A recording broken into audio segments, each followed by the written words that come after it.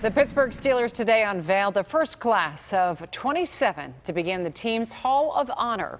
The plan is to add four more every year during Alumni Weekend at Heinz Field. John Shumway has the story. His toss is grabbed off by Jack Butler, who scampers across to score for the Steelers. From days gone by to more recent glories. got me cranking up now. They're cranking me up. The 27 inaugural inductees into the Hall of Honor are 27 men who forged a legacy of greatness in Pittsburgh. The selection committee started with a sizable list. That to me was the most difficult part was when uh, when are we going to stop?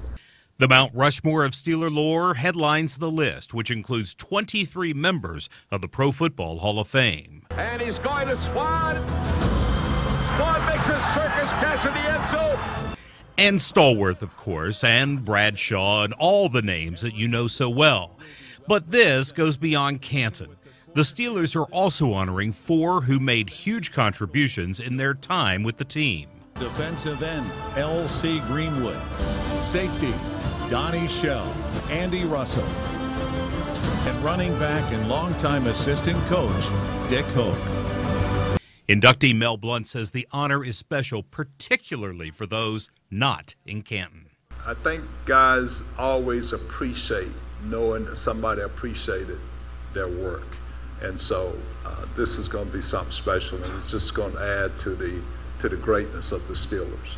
Initially, the Hall of Honor will be located in the Great Hall at Heinz Field. We've talked about uh, expanding into a museum type presentation at some point. So, uh, yeah, I, I, hope someday we can get to that. Now, the Hall of Honor is actually going to be beyond the Lombardi trophies here in the Great Hall down on the far end. But if you're coming to the games in September, October, even early November, don't expect to see anything there yet. It will be revealed when the players are introduced on the field. Alumni weekend when the Packers are here November 25th and 26th. At the Great Hall at Heinz Field, John Shumway, KDKA TV News.